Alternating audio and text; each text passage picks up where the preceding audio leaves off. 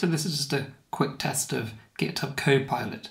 On the left I've got VS Code and a basic GLSL shader open. Um, you can see that it's exporting as a string, but it doesn't matter, Copilot can still recognize it's GLSL. On the right I've got the results of this. I'll just refresh that, click around, few sprites, nice and simple. So let's ask the uh, Copilot to do something with our color. Color.rgb to grayscale. See, even auto-completed that for me. In, saved, and there we go, instantly grayscale. It can also create things as well. So if we say create blue vec for called BV, there we go.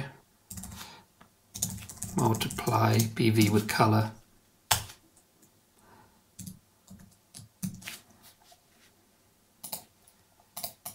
and we get a very blue saturated effect going on.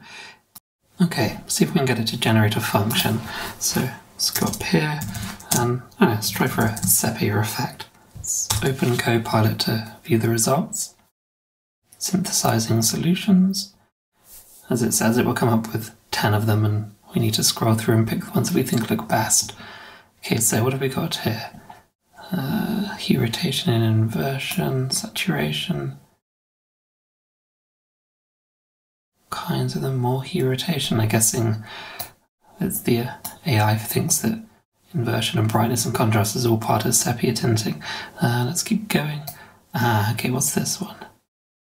Right, let's take you.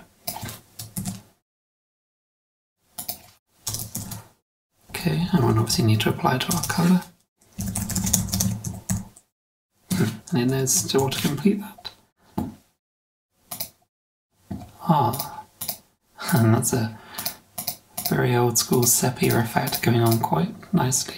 What else has it got here? It's also got blurring and tinting. It seems to come out with a lot of uh, results not to do with sepia, but sepia is absolutely in there. Okay, and if we could do a vignette using the same approach. Okay, 10 solutions. Now we can see the results. Let's, uh, let's go and uh, pick one of them. As you can see, there are an awful lot of them in here. First one, no, that seems to be using a dot function which isn't in there. Um, no. So that. Ah, that looks like it should work. So let's take you, paste you in. Okay, let's uh, apply you to the results.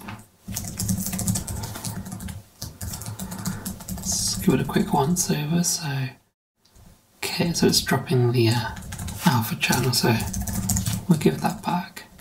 And I think it's going to vignette it the wrong way around, but let's test it. Oh yeah, very black. Okay, let's swap this around then.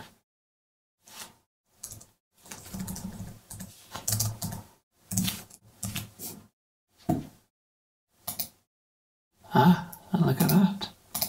Wow.